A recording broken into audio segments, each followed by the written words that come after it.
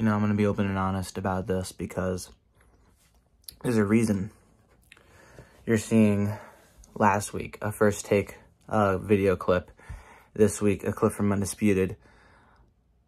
I'm trying to prove a point.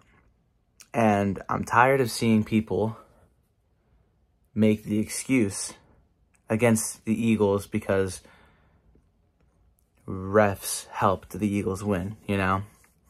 Nobody wanted to hear that when the Eagles lost to the Chiefs, you know? I didn't even use that as an excuse in my video. I just pointed it out, but I said, you know what? It is what it is at the end of the day. Ticky-tacky calls that help determine the outcome of the game. Literally determine outcomes of games. The Chiefs, they played a sloppy game. The Eagles played a sloppy game. Pretty even split with the penalties, I would think, right? And it was. But oh, the Eagles were helped out by the refs during that game against the Cowboys, even though the Cowboys, thanks to penalties, got all the way down to the six and then backed all the way up to like the 25, couldn't punch it in. That that was the refs. Oh yeah, the Eagles were the ones who, or no, the referees were the ones who uh, intercepted Josh Allen or made him throw that interception, right? Or uh, the the refs helped uh, Jalen Carter block that field goal, or have uh, the the Bills kicker missed the other field goal, right? Or the refs were the reason why Josh Allen drove all the way down the field and on third down, miscommunication with Gabe Davis missed a wide open touchdown to end the game. And the Eagles capitalized, drove down the field, no penalties, no issues, no nothing, won the game.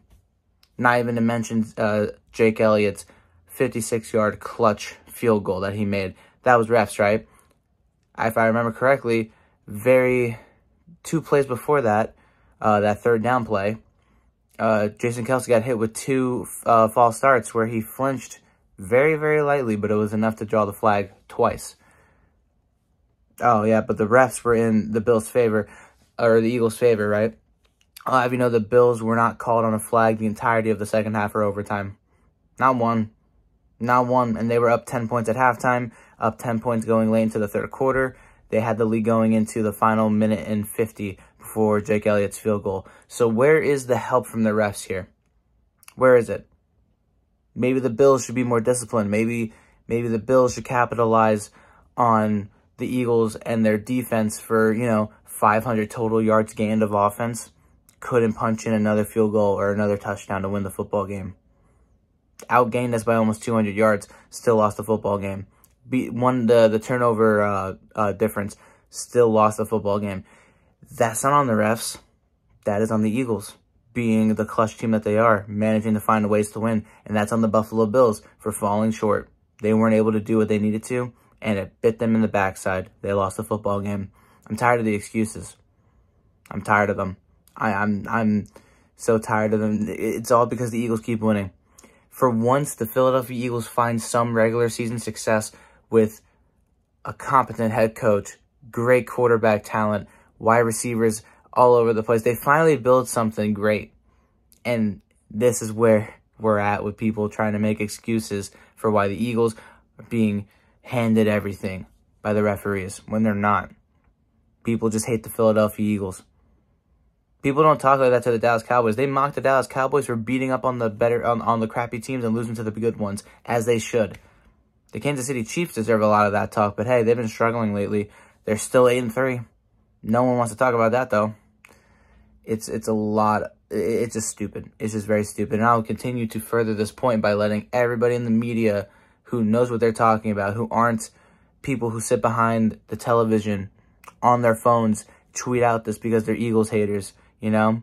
I saw so many 49ers uh, fans in the uh, Eagles Bleacher Report community laughing, talking about how they're going to uh, destroy us next week when we were down 17 to 7. Didn't see a single one after we managed to win that game yesterday. Not one. Oh, but on Twitter, on the other hand, that's where they're all at. That's where everyone's at. I saw another tweet saying that um comparing Jalen Hurts' stats to Jordan Love's um, and wondering why is Jalen Hurts a starting um, uh, an MVP when Jordan Love and him have almost similar, almost the exact same um, uh, passing uh, uh, stats as a passer. And I read that and laughed because he left out the 10 and 1 record, the rushing touchdowns, and overall what Jalen Hurts brings to this team that Jordan Love doesn't do for the Packers. It's fucking stupid. I love it. Keep hating on us. We'll keep proving you wrong.